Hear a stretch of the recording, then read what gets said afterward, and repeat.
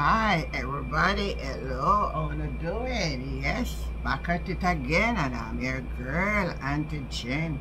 And yeah, you so far, you so far, most of you who are following me now will understand that most of what Auntie Jen is saying is coming to pass. Are you seeing it coming to pass? Are you seeing it? Are you seeing that is that when it come out that I am coming to say it? Yes, I'm going to start on the reader woman. Yes. Tell me if I turn reader woman. Alright. Anyway. Putting fun and joke aside now. Can you believe this? That Marlene Malahoo Forte is say, trying to use the trying to use it decent saying Mark Golding is telling a lie on her and I am here to share it with you guys. And so that you guys can um, judge for yourself and tell me who wanna think I tell a lie? If a Mark Golding I tell a lie or a Malahoo Forte I tell a lie right?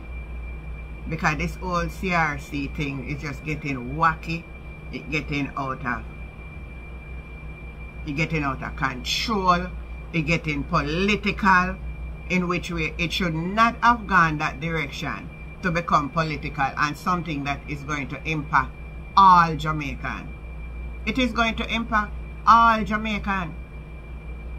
So it should be. Now, remember Mark Golding came out with a letter that he, he had stated the 7th of May that he said he spoke behind the speaker's chair in parliament to the prime minister and share some concern that he has. To date, the Prime Minister has not responded to, to, to Mark Golding as the leader and as the opposition. What is that telling us? What is that telling us? It's telling us that Uno use Uno use bad manship Mark will have none of that. So anyway, let me tell you now where um, Marlene says.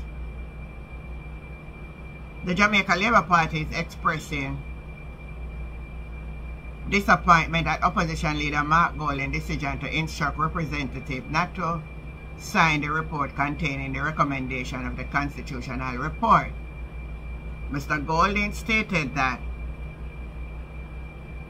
the decision that was made with the opposition team and the government team was okay except for some part in the class that Marlene Malahoo Forte did not let them see it and was taking it to parliament. Now she come out. I believe back. You that get me on this one guy. You, you, you, you, you, you, you're not telling a lie. Me know say they up to something. Me know say they up to something. Because the part that Mark is saying that is not in agreement with my people. And I'm going to make a listen to this. What Mark is saying. Listen to this. of discontent by the opposition leader Mark Golding on aspects of the CRC report. He's pointed to 16 clauses. Among them, he says it should be clearly stated that the official name of Jamaica as a state is not to be changed to the Republic of Jamaica, but is to remain as Jamaica. He also is in disagreement with the proposed solution where the Prime Minister and the Leader of Opposition have not agreed on the President. He says any solution which enables the President to be approved via a simple majority vote of both Houses of Parliament effectively incentivizes the Prime Minister to choose someone who he or she perceives as favoring his or her party. Mr. Golding is also not in support of the proposal for appointing an interim president to act in a temporary vacancy. Changes relating to the composition of the Senate and extension of the Parliament beyond five years are also being opposed. On other issues, Mr. Golding has sought clarity from the Constitutional Reform Committee. Meanwhile, the Jamaica Labour Party in a statement said the government has heard and positively responded to wide and consistent representation from across the island for Jamaica to become a republic. The statement further notes that the Prime Minister responded to public sentiment concerning the issue by establishing a bipartisan committee to advance the process. The JLP says it is disappointed with the decision of the People's National Party to refuse to sign the report of the Constitutional Reform Committee. Member of the JLP's Public Relations Council, Senator Shireen Golding Campbell, says despite significant progress made in acting on widespread public sentiment that Jamaica should become a republic, PNP President Mark Golding has chosen to potentially derail the process by making demands at the proverbial 11th hour. Senator Golding Campbell says the JLP is hopeful that the PNP will allow the agreed consensual process to continue. Lakinsky Robinson. So you hear what was said in the clip. The issues that Mark Golding are having problem with. And as I would say now, Mark Golding, all I'm proposal may not be where you are going to agree with as a, as a, as a government, you know. I saw discussion going on. I put forward something like Mrs. Summer said, the PNP did say, no dual citizenship can. But now we have make some changes. So it could have changed, but you know means that it have to be. We can have a dialogue on it if we not come to an agreement and we leave that alone. It remain as it be. That's how that's how it going on. You know, me and him say I saw it have to go and I saw it have to go. We are into discussion and when you're in a discussion, that's how it works. We discuss it. That's how things go. Lord have mercy. What a here. What a thing.